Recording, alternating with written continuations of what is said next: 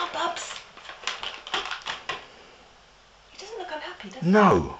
I think it's just he's, wo- he's wondering what it is. Is the bit under the under the neck, is that comfy for him, do you The think? chest, the Yeah, that- strap, yeah. that'll stop him from s- walking through and out. Yeah, it's not, it's not disturbing him. It doesn't seem to be. No. Come, mate. It's Look. the one thing in the world. Oops. He wants... Come on.